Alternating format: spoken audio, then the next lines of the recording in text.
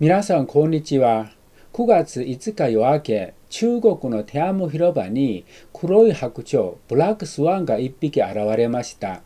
天安門広場では毎朝太陽が昇る時間に合わせて国旗掲揚式が行われますが、その後広場にブラックスワンが現れたのです。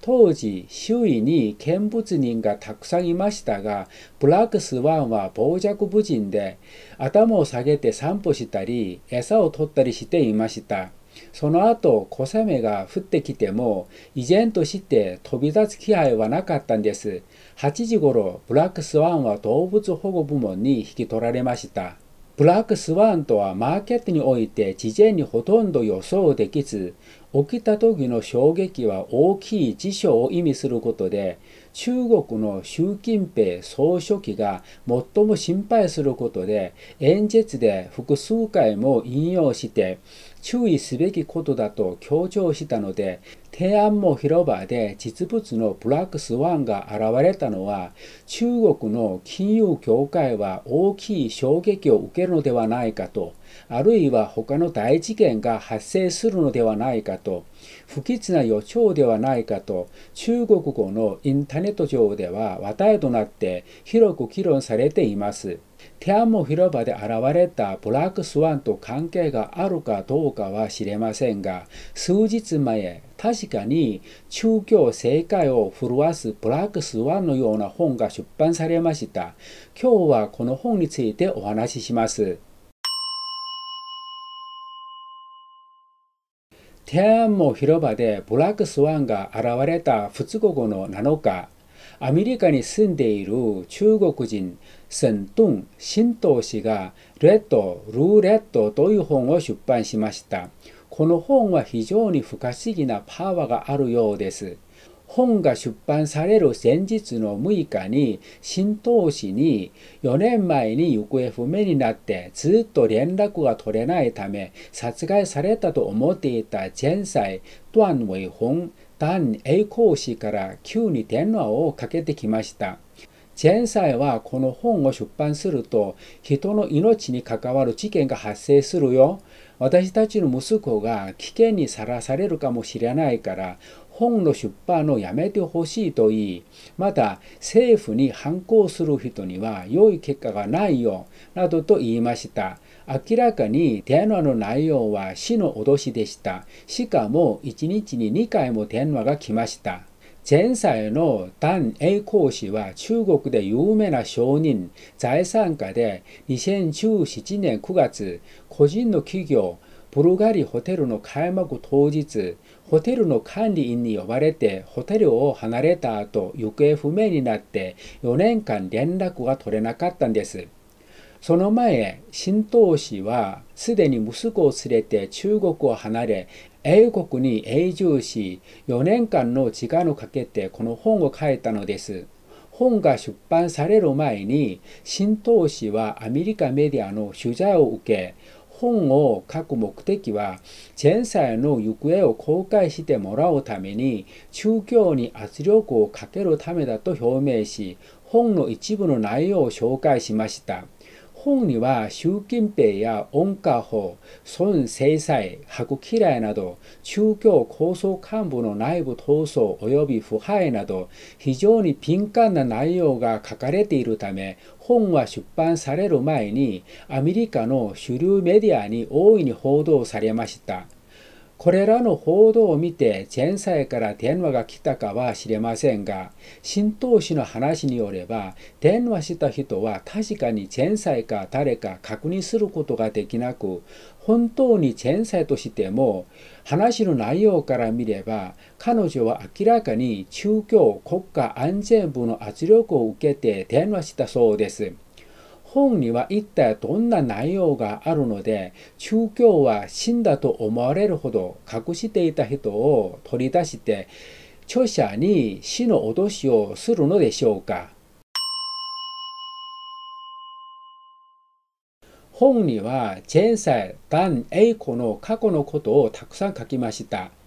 単英子氏は元首相温家宝やすでに失脚した習近平の継承者だと言われていた孫正才との仲がとても良かったので本には温家宝家族孫正才の失脚内幕に関する内容を詳しく書いておりまた習近平や王貴座など多くの構想幹部との政治的な取引を書いてあります。ウォール・ストリート・ジャーナルが紹介した本の内容によれば、習近平は政権を取って間もなくして赤い貴族の共産党内部での地位と政権を確保するために、赤い貴族が永遠に特権を共有するために、いわゆる反腐敗運動を実施しました。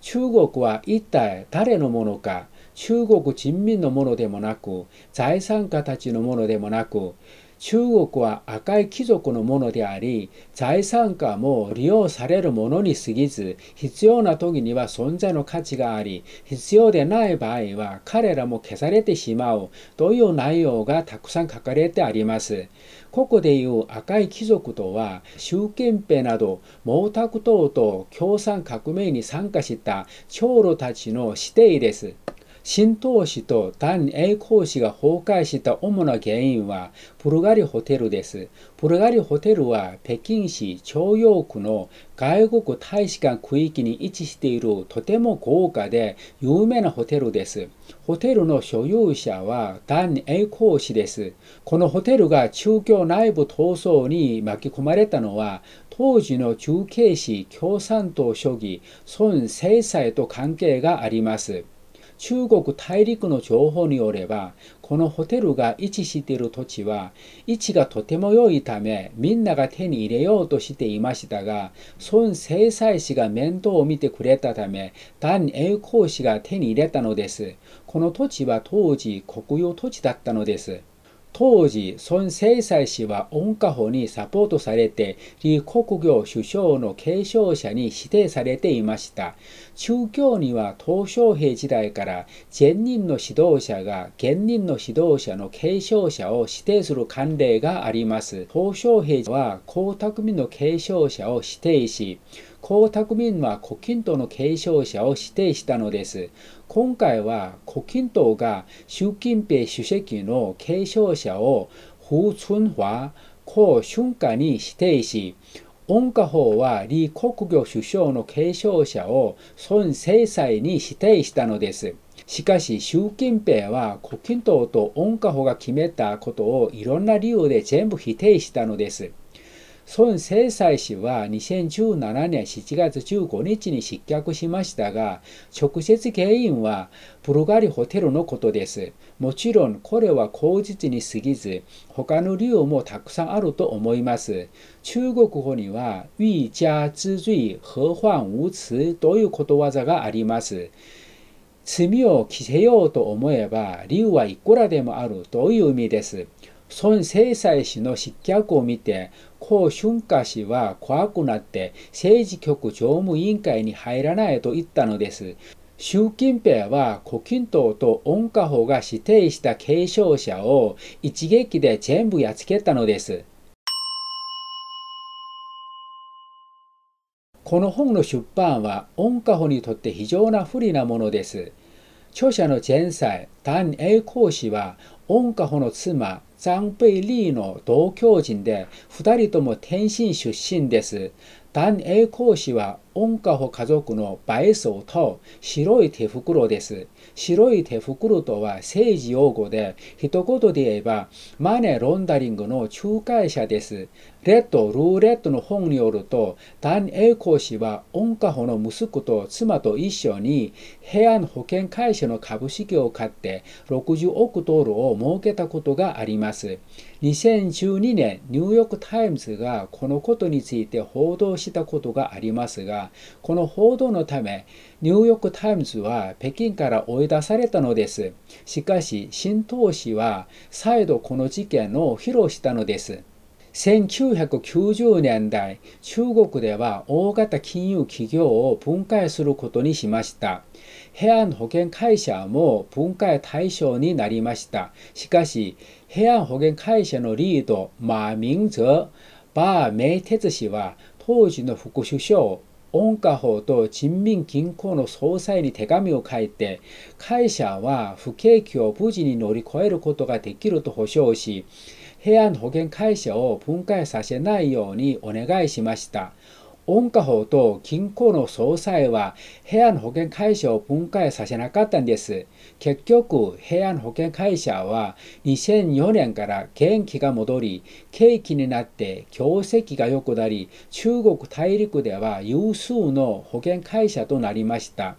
大本、大光という非常に神秘な会社が平安保険会社の株式を大量に取得しましたが、この大光会社の最大の株主は温家宝家族でした。